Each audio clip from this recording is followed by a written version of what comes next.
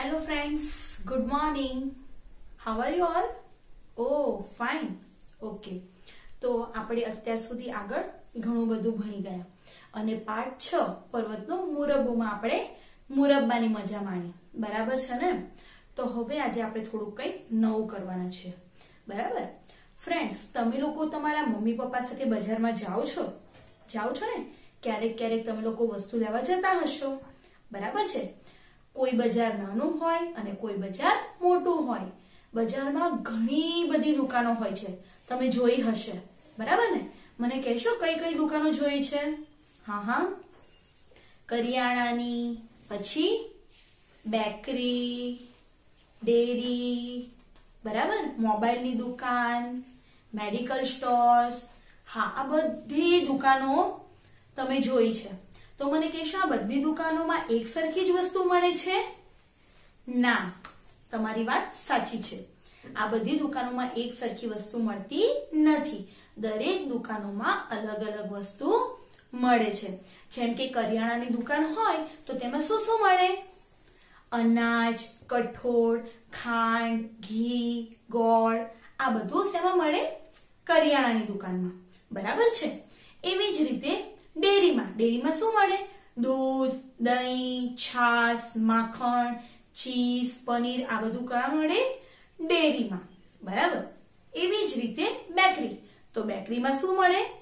Cake મળે, biscuit મળે, નાન ખટાઈ મળે, ક્રીમ રોલ મળે. બરાબર છે? આ બધી વસ્તુ ક્યાં મળે? બેકરીમાં. એવી જ રીતે મોબાઈલની દુકાન હોય તો મોબાઈલની દુકાનમાં શું શું મળે? નવા જૂના મોબાઈલ મળે, પછી ત્યાં મોબાઈલના કવર મળે, સિમ કાર્ડ મળે, બરાબર? ગ્લાસ મળે, આ બધું મોબાઈલની દુકાનમાં મળે. અને દવાખાનું હોય, એટલે કે મેડિકલ સ્ટોર્સ હોય, તો ત્યાં શું મળે? હા, દવા મળે, ઇન્જેક્શન મળે, પાટા મળે બેન્ડેડ પટ્ટી મળે, આ બધું મેડિકલ સ્ટોર્સમાં મળે. બરાબર? તો દરેક દુકાનોમાં જુદી જુદી વસ્તુઓ મળતી હોય છે. હવે આજે આપણે જોવાનું છે. દુકાનનું બોર્ડ જો અને ત્યાં શું મળતું હશે તે લખો. અહીં એક દુકાનનું બોર્ડ આપ્યું છે. તમે પણ તમારા ઘરની આજુબાજુ દુકાનો હોય ને, ત્યાં જોજો, ઉપર બોર્ડ લગાવેલા હશે. જેમ કે કરિયાણાની દુકાન હોય, તો લખ્યું હોય કે કૃષ્ણા કરિયાણા. એટલે કે કૃષ્ણા કોઈ છોકરીનું નામ પણ હોઈ શકે. પછી મેડિકલ સ્ટોર હોય તો મેડિકલ સ્ટોર પર બી એનું નામ લખ્યું હોય કે રાજ મેડિકલ સ્ટોર્સ એવી જ રીતે ડેરી હોય તો કૃષ્ણા ડેરી આવા બધા અલગ અલગ નામથી બોર્ડ માર્યા હોય છે. તો અહીં પણ આ એક દુકાનનું બોર્ડ આપ્યું છે. તો આપણે જોઈએ. દુકાનના બોર્ડ પર લખ્યું છે રાજશ્રી મોબાઈલ. એટલે હવે તમને બોર્ડ જોતા ખબર પડી ગઈ હશે કે આ શેની દુકાન હશે? શેની દુકાનનું બોર્ડ હશે? હા, મોબાઈલ. બરાબર? દરેક કંપનીના નવા જૂના મોબાઈલ, મોબાઈલના કવર, ગ્લાસ મળશે. બરાબર? એ બોર્ડ પર આવું લખ્યું છે. નવા સિમ કાર્ડ મળશે. રિચાર્જ કરી આપવામાં આવશે.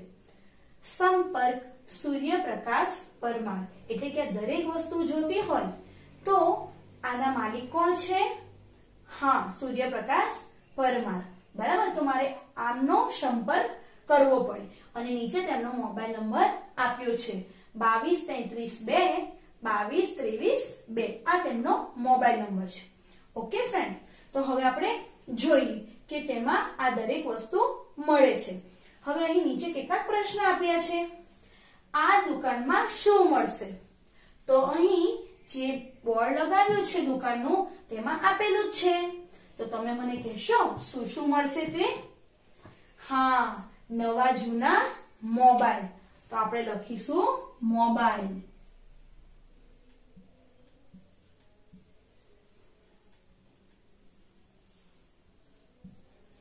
ઓકે, ત્યારબાદ બીજું શું મળશે? મોબાઈલના કવર. તો આપણે લખીશું કવર.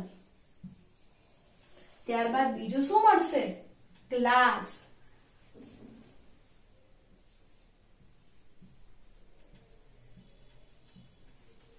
બીજું નવા સિમ કાર્ડ મળશે.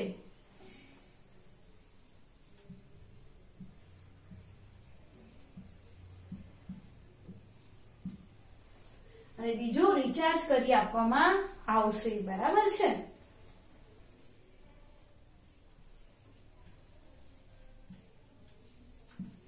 ઓકે ફ્રેન્ડ્સ તો આ દુકાનમાં મોબાઈલની જે દુકાન છે, તેમાં આટલી આટલી વસ્તુ મળશે.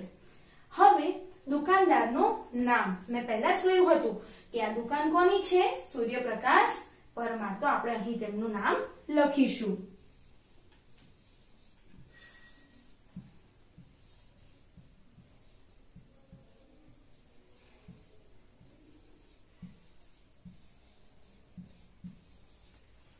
અને નીચે આપ્યો છે મોબાઈલ નંબર.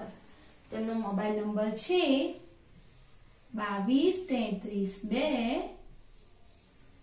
બાવીસ ત્રેવીસ બે. બરાબર છે?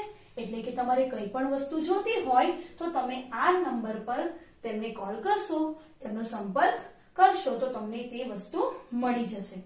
તો આવી રીતે ઘણી બધી દુકાનો હોય છે. બરાબર? હવે તમારી આજુબાજુમાં પણ તમે ઘણી બધી દુકાનો જોઈ હોય મેડિકલ સ્ટોર્સ જોયા હોય ડેરી જોઈ હોય, તો આવી જ રીતે તમારે તે નોંધવાનું છે કે તે દુકાનનું નામ શું છે અને તે દુકાનમાં કઈ કઈ વસ્તુ મળશે.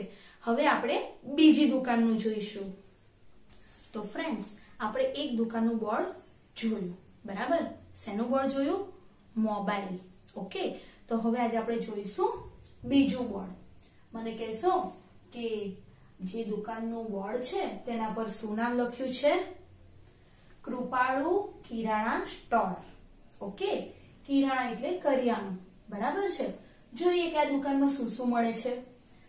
ઘી, ગોળ, તેલ, અનાજ, કઠોળ, ખાંડના છૂટક, વેપારી.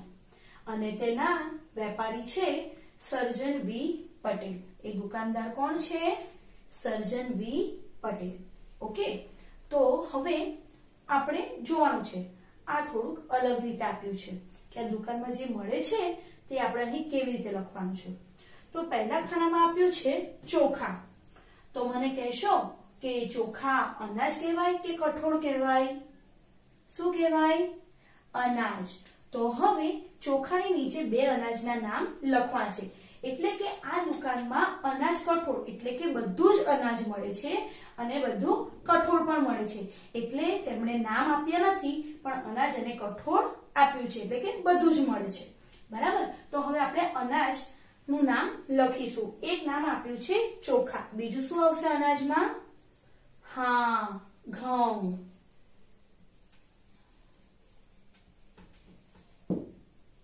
અને બીજું જુવાર.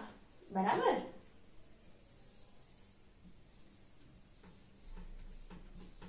ચલો હવે તેવી જ રીતે અહીં તુવેર દાળ આપ્યું છે. તુવેર દાળ શું છે? કઠોળ. બરાબર? તો એની નીચે બીજા બે નામ લખો કે આ દુકાનમાં બીજા બે એવા કઠોળ કયા મળતા હશે?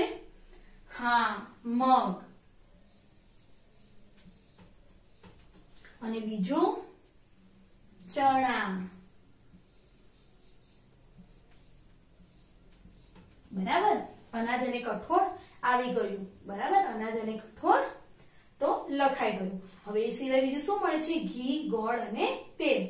તો ઘી આપેલું છે. અને બીજું આપણે તેની નીચે લખીશું. ગોળ અને તેલ. ઓકે ફ્રેન્ડ્સ અને સંપર્ક. આપણે કઈ પણ વસ્તુ જોતી હોય, તો આપણે કોનો સંપર્ક કરવાનો છે?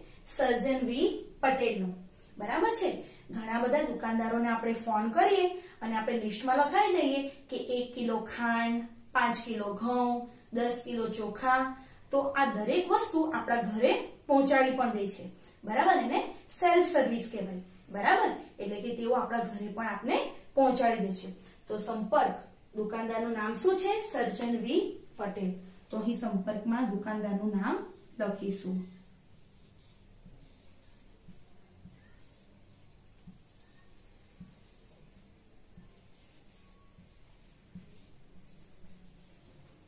ઓકે ફ્રેન્ડ્સ તો આજે આપણે દુકાનના બોર્ડ જોયા અને તેમાં શું શું વસ્તુ મળે છે તે જો હવે તમારે પણ એ જ વસ્તુ કરવાની છે કે તમારી આજુબાજુમાં કઈ દુકાન છે અને તે તેના પર કયું બોર્ડ લગાવ્યું છે અને તે દુકાનમાં કઈ વસ્તુ મળે છે. બરાબર? તો તેનો ચાર્ટ તમે ઘરે બનાવજો. હવે આપણે નવા ટોપિક સાથે ફરી મળીશું. હું રજા લઉં છું. બાય!